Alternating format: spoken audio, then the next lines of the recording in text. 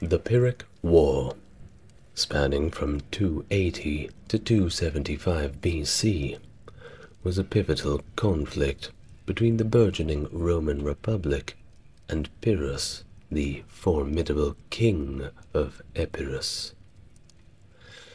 Initiated by a plea for aid from the Greek city Tarentum in southern Italy, Pyrrhus brought his skilled army, including war elephants, to challenge Roman dominance in the region. Despite initial successes against the Roman legions, Pyrrhus incurred heavy losses and faced dwindling support from allies. Plutarch's famous account of Pyrrhus lamenting, One more victory like this, and we are lost, gave rise to the term Pyrrhic victory. Worn down by relentless warfare, Pyrrhus eventually turned his attention to Sicily, leaving the Romans to consolidate their strength. Returning to Italy in 275, Pyrrhus faced another battle. How did it turn out? Well, you're about to find out. Hello everyone, I'm the ASMR historian welcoming you to another extensive, long video. It's gonna be great. If you'd like to support the channel, how about you go check out the Patreon? It's a good way to avoid those YouTube ads. And you'll have my eternal gratitude. Short of that, help me out in the algorithm with a like and subscribe. Well, without further ado, let's get busy with our topic for today the Pyrrhic War. In 290 BC, Following the conclusion of the three Samnite Wars, Rome had solidified its dominance over parts of central and southern Italy, forming alliances with various Italic tribes in the region. South of Rome's influence lay the Greek city-states of Magna Graecia and Tarentum, emerging as the largest and most formidable among them. The outbreak of hostilities between Rome and Tarentum was triggered by differing accounts from historians such as Appian, Cassius Dio, and Zonaras. Now, according to Appian, in 282 BC, ten Roman ships ventured close to Tarentum's coast, led by Publius Cornelius Dolabella, who was allegedly simply sightseeing along the coast of Magna Graecia. Sightseeing. Right. Exploiting an old treaty barring Roman ships from sailing beyond Lacinium promontory near Croton, a demagogue incited the locals to attack, resulting in the sinking of four ships and the capture of one with all of its crew. However, Cassius Dio and Zonaras provided alternative narratives, omitting any mention of treaties between Rome and Tarentum. Zonaras suggested that the Tarentines associated with Romans' adversaries, including the Etruscans, the Gauls, and the Samnites, leading to suspicions and subsequent hostilities when Lucius Valerius, described as the Admiral, attempted to anchor off Tarentum's coast the Tarentines, perceiving this as retaliation for their past actions, responded by sinking Roman ships and capturing the crew. In Cassius Dio's account, Lucius Valerius was dispatched on an errand, while the Tarentines were inebriated during the Dionysiac festival, which was basically a festival where everybody got drunk. Apparently, this rather pleased the god Dionysus. Upon sighting Valerius's ships, well, they suspected hostile intentions, and they immediately attacked without asking any questions.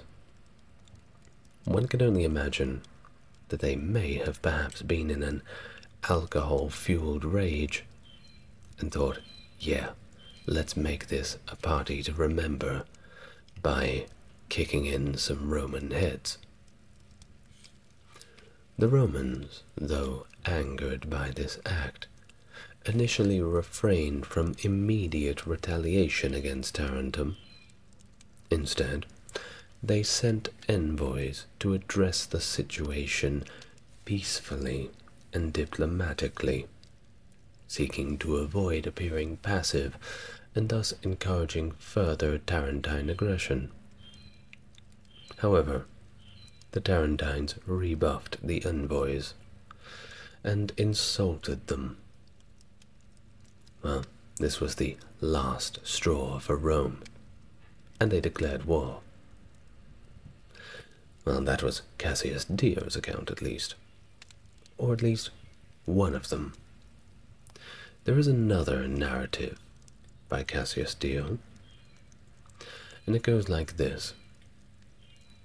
The Romans became aware of Tarentum's preparation for war, and dispatched Gaius Fabricius Luscinus as an envoy to allied cities aiming to prevent a rebellion. However, these efforts were thwarted when the allied cities arrested Fabricius and aligned themselves with Rome's adversaries, leading to succession. Cassius Dio suggests that the Tarentines initiated hostilities, but felt rather secure in doing so due to their belief that Rome was unaware of their plans, citing Rome's temporary embarrassments. Well, spoiler alert, Rome was very aware of what Tarentum was doing. This ambiguity arises from the fact that Rome sent envoys shortly after the ship attacks followed by a declaration of war upon their insult. Little did the Tarentines know, Rome was just trying to act diplomatically, trying to show a little bit of manners, even after their ships were sunk and the crews turned into slaves. Sorry about that. Thus, it was unclear what pretense Tarentum perceived. Additionally, the mention of Gaius Fabricius's mission coinciding with the ship attack suggests a timeline where the events may have influenced each other. All of this just further complicates the narrative. This period also saw rebellion among various Italic peoples potentially fueled by the tensions between Rome and Tarentum. According to Appian, the Tarentines accuse the Greek city of Thurii of siding with the Romans instead of fellow Greeks, leading to an attack on the Thurii. Expulsion of its noble citizens and dismissal of the Roman garrison stationed there. Now that ought to annoy the Senate, wouldn't it? Livy's Periochae noted Roman support for the Thurii during conflicts with the Lucani around 286, honoring the plebeian tribune Gaius Aelius with a statue in the Roman Forum for his proposal to aid Thurii. Dionysius of Halicarnassus credited Gaius Fabricius Luscinus serving as consul in 282 BC, with breaking sieges and defeating various Italian peoples, including those surrounding Thurii. What about modern historians? Well, as for them, they suggest that the breach of the Thurii Treaty and the siege's lifting prompted the attack on the Roman ships. This discredits Appian's notion of sightseeing. Tarentum feared Rome's expanding influence after Thurii sought Roman protection around 286. Appian attributed Tarentum's blame for the treaty in Thurii of violations as a pretext for aggression, possibly referencing treaties with Alexander of Epirus or Cleonymus of Sparta. The Romans demanded restitution from Tarentum after the ship attack, but the envoys didn't get much luck with that. They never really got their restitution, well, at least not in the original form they asked.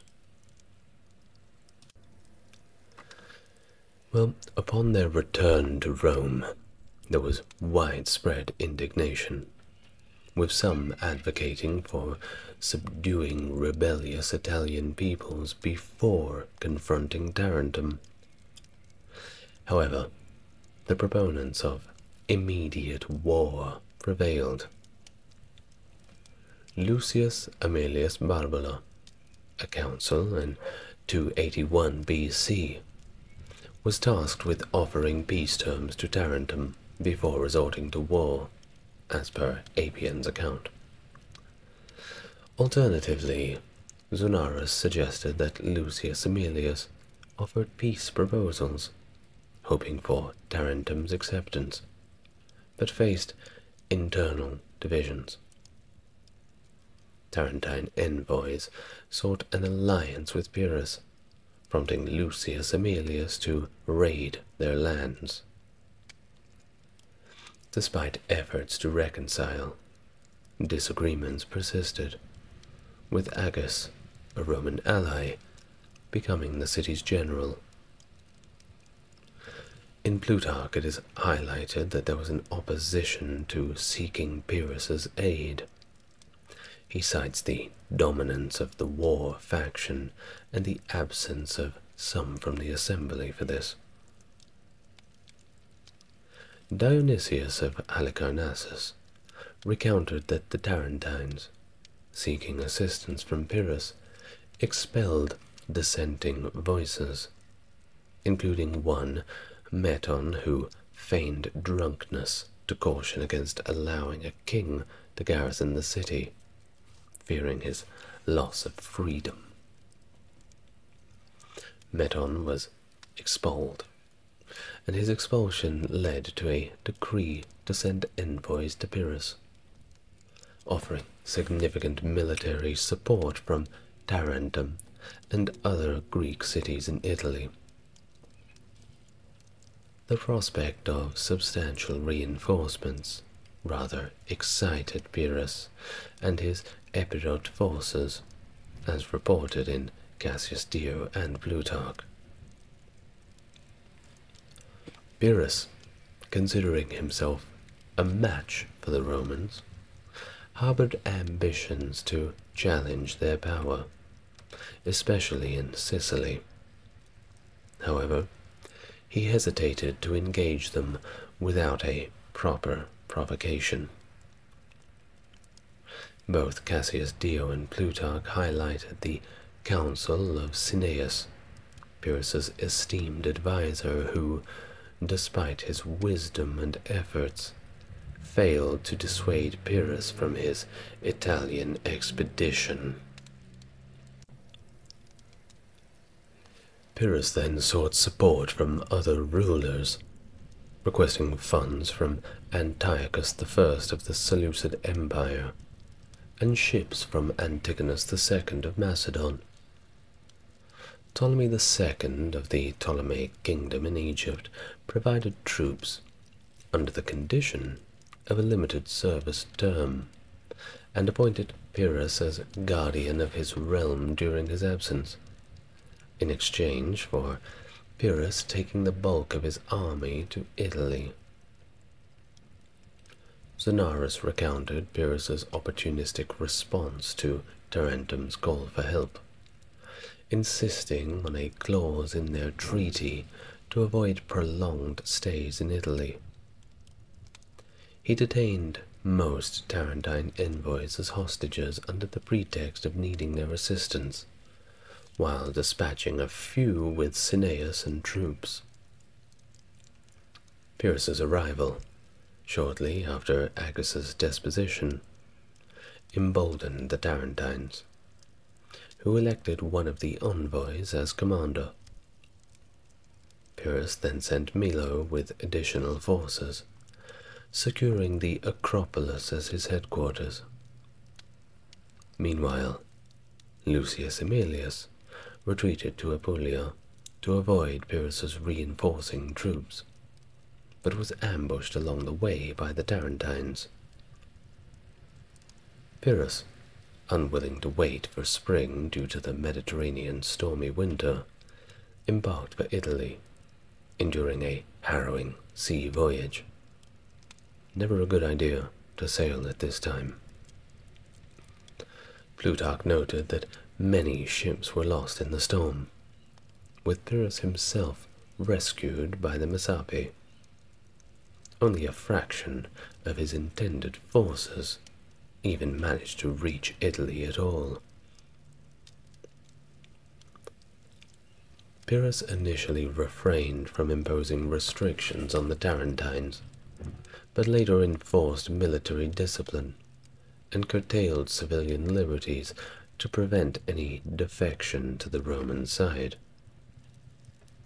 Dissenters left the city, viewing Pyrrhus as a tyrant rather than an ally. Well, that's what happens when you curtail civilian liberties, right? Nobody likes that. Now, Appian had described Pyrrhus's draconian measures, including forced military training, house arrest, and brutality by his officers, as just a few of the reasons that people decided to flee the city. And fair enough, he sounds like a bit of a douche. Rhegium, seeking Roman protection, fell victim to internal treachery led by Decius, who manipulated circumstances to seize control, allying with the Mamertines. The Romans initially overlooked this while preoccupied with Pyrrhus, but eventually dispatched Gaius Fabricius Luscinus, who recaptured Rhegium, executed the rebels, and punished Decius for treason. Before this period, Rome had never engaged in military conflict with any of the Hellenistic states in the Eastern Mediterranean. So yeah, achievement unlocked. Good job, guys. Publius Valerius Laevinus one of the consuls for 280 BC, led a sizable army against Pyrrhus, aiming to intimidate him by marching through Lucania and seizing strategic positions. In response to this, Pyrrhus sent a letter proposing arbitration to settle disputes with the Tarentines, Lucanians, and Samnites. But Laevinus was not going to accept this. He immediately smacked down the offer, asserting Rome's independence and readiness for war. Laevinus even showcased his forces to Pyrrhus's scouts, underscoring Roman's military might. When the scouts came over to have a look and they were spotted, well, he essentially said, Let's show them what we've got so they can come back and tell Pyrrhus exactly what he's up against. Because they knew that Pyrrhus would not like what he hear. Pyrrhus, yet to be reinforced by his allies, established his camp and awaited their arrival, hoping to exploit some Roman supply difficulties.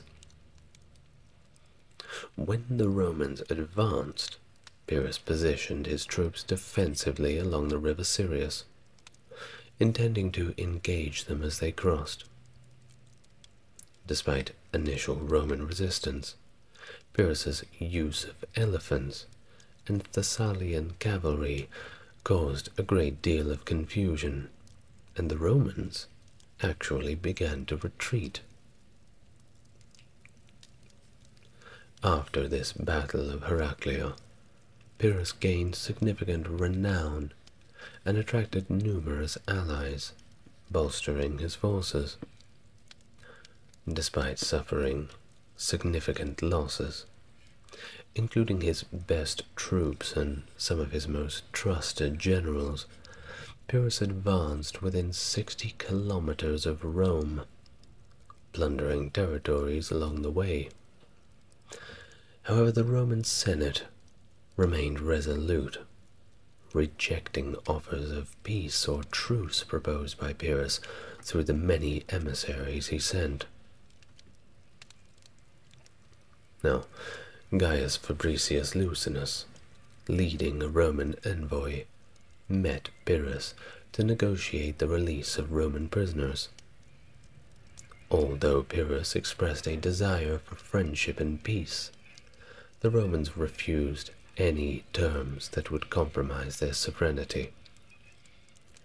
They eventually accepted the return of prisoners without conditions and dispatched Cineas to Rome to negotiate further.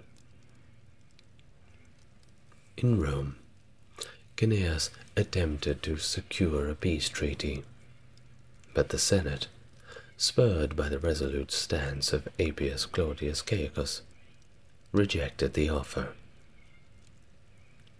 Appius Claudius argued that Pyrrhus could not be trusted, and that Rome should continue the war until Pyrrhus withdrew from Italy completely. Meanwhile, Pyrrhus, aware of the growing Roman strength, prepared to march directly on Rome. However, faced with the daunting prospect of confronting the reinforced Roman army, he ultimately refrained from engaging in battle and withdrew back to Tarentum. Different historical accounts vary in their portrayal of Pyrrhus's movements following the Battle of Heraclea. Some describe him marching towards Rome, laying waste to territories along the way, while others depict him diverting through Etruria and Campania, before ultimately returning to Tarentum. Amidst these events, Rome also engaged in diplomatic efforts, sending envoys to Ptolemy II of Egypt, likely seeking support or alliances to counter Pyrrhus's growing influence in Italy. The Battle of Asculum in 279 was a pivotal moment in the conflict between Pyrrhus and Rome with differing accounts from ancient historians regarding its specific outcome. According to Cassius Dio, Pyrrhus invaded Apulia in the following spring, capturing several places before encountering the Roman army near Asculum. Both sides hesitated to engage in battle for several days. Rumors were circulating that Publius Decius Mus, one of the Roman consuls, was preparing to perform a devotio, a sacrificial act where a commander sacrifices their life to ensure victory. This rumor bolstered the Roman morale and alarmed Pyrrhus's Italic allies Pyrrhus attempted to reassure them, but ordered the capture of anyone wearing the distinctive garments of the Decius family. The consuls, however, rejected the need for such a sacrifice. They were confident enough in the pure strength of the Roman army. While Dio asserts that the Romans emerged victorious in the Battle of Asculum, other historians present differing accounts. Plutarch, for instance, describes Pyrrhus as the victor in the two-day battle. However, he also highlights Pyrrhus's recognition of the heavy losses suffered by his forces and the challenges he faced in replenishing them. Pyrrhus's favorite remark, one more victory like this, and we are undone, reflects his realization that even victorious battles against Rome exacted a heavy toll on his resources and manpower. While Rome, they didn't have many problems replacing their losses. Dionysius of Halicarnassus's account does not clearly indicate the outcome of the battle either, leaving room for interpretation.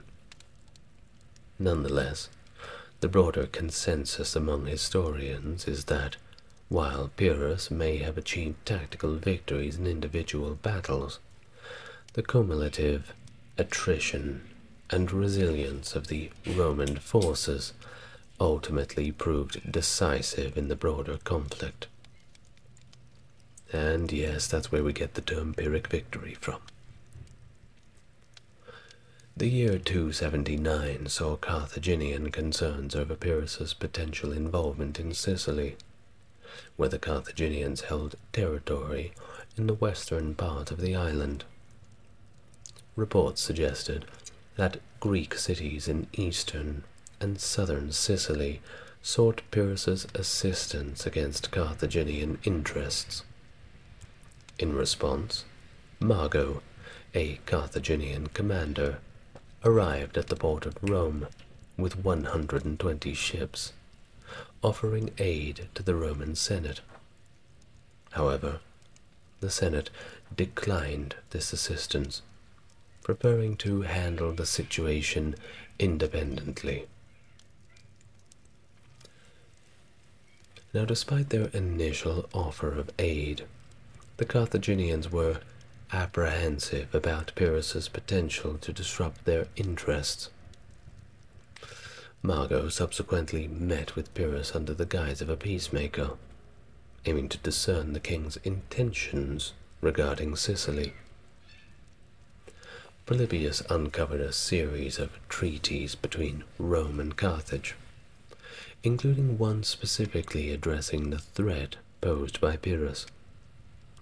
This treaty stipulated mutual assistance in the event of an attack, with Carthage providing naval support for transportation and hostilities. However, despite this agreement, there was limited collaboration between Rome and Carthage against Pyrrhus. Who knows?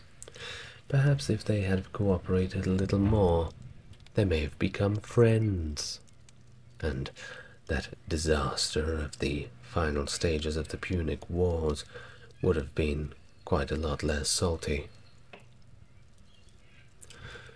Well, in one instance, Carthaginian forces did attempt to assist Rome by besieging a rebel Roman garrison at Rhegium, which had seized control of the city.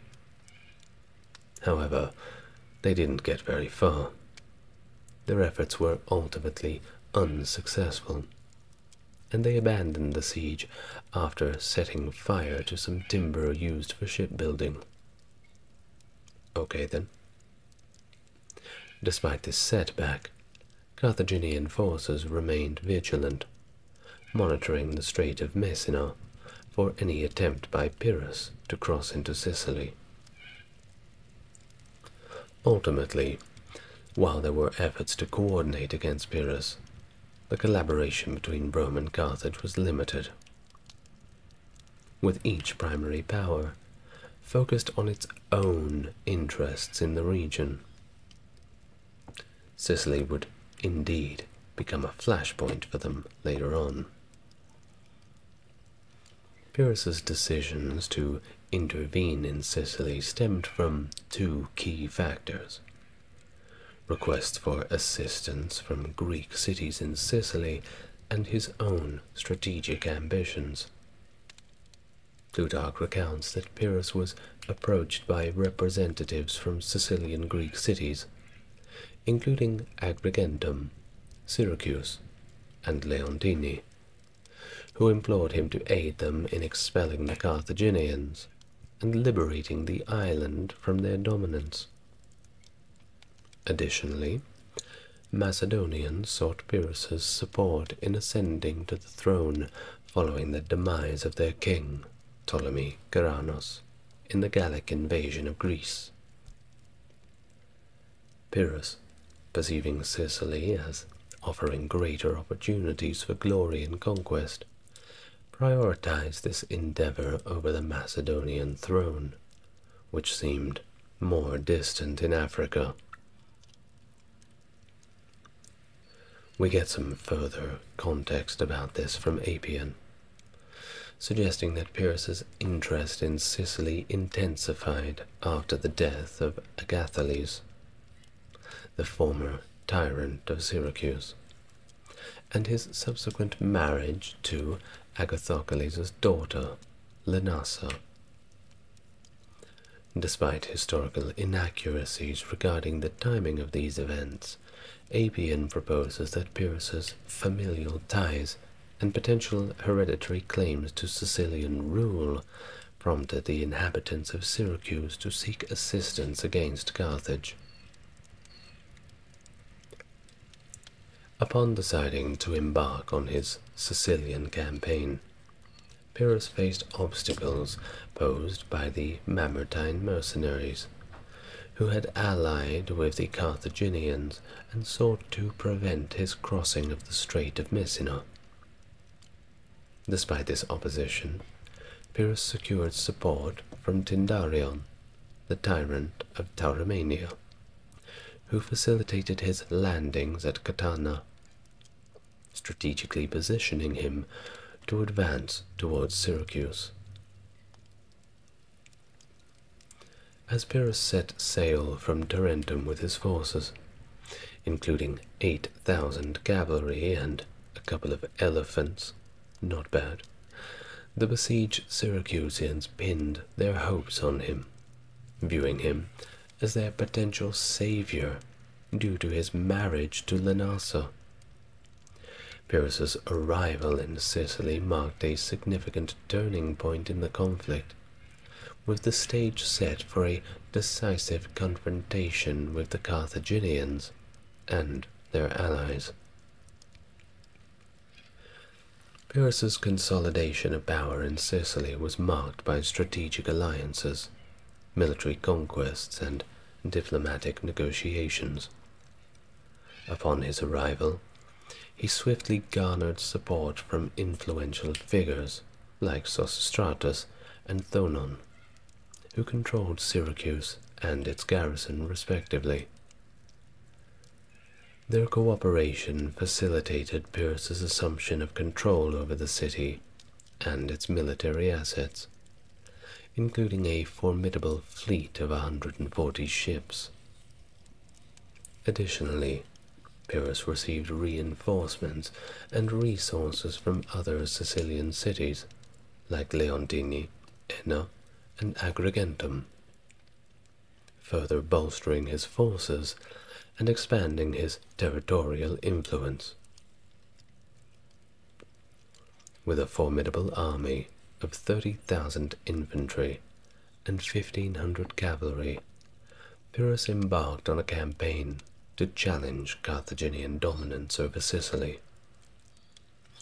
His military prowess was evident as he swiftly seized control of strategic locations, such as Heraclea Minoa Selinus, Segesta, and many more, securing the allegiance of numerous cities in the region. His conquest culminated in the successful storming of Eryx and Panormus, leaving only Lilybaeum under Carthaginian control. However, the siege of Lilybaeum proved to be a formidable challenge for Pyrrhus. Despite initial negotiations initiated by the Carthaginians, who were at this point, no doubt, feeling a little bit nervous, Pyrrhus remained resolute in his ambition to expel them entirely from Sicily, rejecting offers of financial incentives and conceding only under pressure from his allies and Sicilian delegates. The protracted siege saw Pyrrhus facing significant resistance from the Carthaginians, who leveraged their superior numbers and defensive advantages to thwart his advances. His unwanted advances. Ultimately, Pyrrhus's decision to abandon the siege and focus on naval dominance signaled a shift in his strategy, securing control over the sea lanes and preparing for an eventual campaign in Africa. And despite the setbacks at Lilybaeum, Pyrrhus remained determined to fulfill his ambitions of conquest. He then set his sights on Carthage and the broader region of Libya Pyrrhus's descent into tyranny and despotic behavior ultimately led to widespread resentment and rebellion among the Sicilian Greeks. Plutarch highlights how Pyrrhus's actions, including arbitrary executions, confiscation of estates, and favoritism toward his military campaigns, well, companions rather, eroded his popularity and credibility as a leader. Yeah, doing these things is certainly not going to make anyone popular. Try not to confiscate anybody's estates in your own circle of friends. Suspicion and paranoia further fueled his authoritarian rule, leading to the execution of prominent figures like Thoenon and the attempted arrests of others, such as Sosistratus.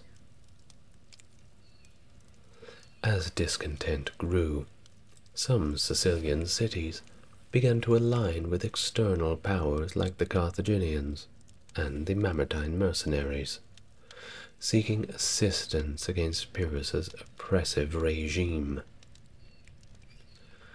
The deterioration of Pyrrhus's control became evident as internal unrest escalated, prompting the intervention of the Carthaginians, who saw all of this as a opportunity to reclaim lost territories. In the face of mounting challenges and diminishing support, Pyrrhus received a plea for aid from the Samnites and Tarentines, offering him a pretext to depart Sicily without appearing weak or defeated. But everybody knew what was really going on, I'm sure. Plutarch's account suggests that Pyrrhus seized upon this opportunity to extricate himself from the increasingly untenable situation in Sicily. And behind him, well, he left a chaotic and unstable landscape. Now, after Pyrrhus's flight from Sicily, he ended up in southern Italy, which brings us to the final battle of the Pyrrhic War, the Battle of Beneventum. And it did not go very well for anybody, to be honest. The accounts of Plutarch, Dionysius of Halicarnassus, and Cassius Dio provide varying perspectives on the Battle of Beneventum and its outcome. Plutarch's detailed narrative describes Pyrrhus's tactical maneuvers and the unfolding of the battle. Pyrrhus, despite facing challenges with his troops losing their way and arriving late to the battlefield, managed to gain ground against Manius Curius's forces. However, the tide turned when the Romans successfully repelled an elephant charge, leading to the disarray of Pyrrhus's ranks and an eventual victory for the Romans. Dionysius of Halicarnassus offers a more concise account, focusing primarily on the confusion caused by the wounded elephants and its impact on the Greek forces. This version emphasizes the role of the elephants in the battle and how their disturbance and confusion contributed to the Greek defeat. Of course, the elephants just went crazy, started trampling over anyone they could find, and most of that was, well, it was Pyrrhus's guys. Not a good way to go. Cassius Dio's narrative aligns closely with Plutarch's, but emphasizes the chaos caused by the wounded elephant calf and its effect on the entire elephant contingent. The narrative underscores the pivotal moment when the Romans seized the opportunity to capitalize on the elephant's disarray and ultimately secured victory. That being said, I think around 9,000 Romans died in that battle. Not good. Not good at all. While each account provides unique insights into the Battle of Beneventum, they collectively highlight the decisive role played by the Roman forces in exploiting vulnerabilities within the Pyrrhus, Pyrrhus's army, ultimately leading to his defeat. In fact, one may say that it wasn't the Romans that defeated Pyrrhus, but his own elephants. Hmm, perhaps next time he'll think twice before bringing them. Well, for him, there was no next time. The post-Pyrrhic War era marked a significant turning point for Rome, as it solidified its dominance in southern Italy and expanded its influence across the Mediterranean. Here's a couple of key developments that followed the war. Rome's hegemony in southern Italy. With the capture of Tarentum and other strategic victories, Rome asserted its hegemony in the southern part of Italy, right down there on the end of the boot, consolidating control over various regions previously influenced by Pyrrhus and his allies. And of course, a lot of people there were happy to have the Romans, because anything was better than Pyrrhus. Conquest and colonization. Rome expanded its territory through conquest and the establishment of colonies. Cities like Brundisium and Rhegium were captured, and colonies were founded in strategic locations to solidify Roman control and of course, facilitate further expansion. Defeat of rebellions. Rome faced rebellions from various factions, including the Samnites, Lucanians, Bruttians, and Picentes. These rebellions were swiftly suppressed, and Roman colonies were established in the conquered territories to maintain control and, of course, prevent future uprisings. Diplomatic relations with Ptolemaic Egypt. Ptolemy II of Egypt, recognizing Rome's growing power, sought to make diplomatic relations with the rising Mediterranean force. Diplomatic exchanges and the changing of gifts between Rome and Egypt signaled the beginning of a new era of diplomatic engagement between Rome and the Hellenistic kingdoms of the East. Overall, the aftermath of the Pyrrhic War marked the ascendancy of Rome as a dominant force in the Mediterranean region and set the stage for its further expansion and influence for centuries to come. But what did you learn? Well, I thought that it was quite humorous to think that the original attack on the ships was made while all of the uh, men were drunk and partying, having a good time.